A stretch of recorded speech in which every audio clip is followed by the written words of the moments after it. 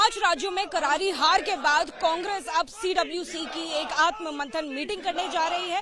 वहीं कांग्रेस ऑफ़िस के बाहर की तस्वीर हम आपको दिखा रहे हैं, जहाँ पर आपको कांग्रेस के कई सारे कार्यकर्ता दिखाई देंगे, जो कि लगातार नारेबाजी कर रहे हैं और समर्थन में नज़र आ रहे हैं। कांग्रेस की राजनीति पर जी 23 ग्रुप के द्वारा कांग्रेस पार्टी नेतृत्व पर सवाल उठाए जा रहे हैं। वहीं कांग्रेस दफ्तर के बाहर की तस्वीर आप देखेंगे, जहाँ पर कांग्रेस कर्ताओं द्वारा राहुल गांधी और सोनिया गांधी जिंदाबाद के नारे लगाते हुए आपको कई सारे कार्यकर्ता नज़र आएँगे।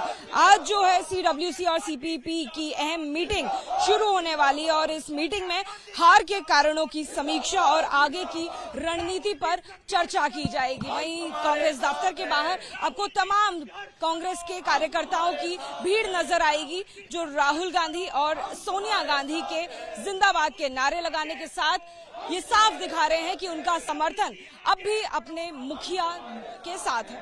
कैमरा पर्सन राजेश कुमार के साथ जातिका सिंह एबीपी न्यूज़ दिल्ली।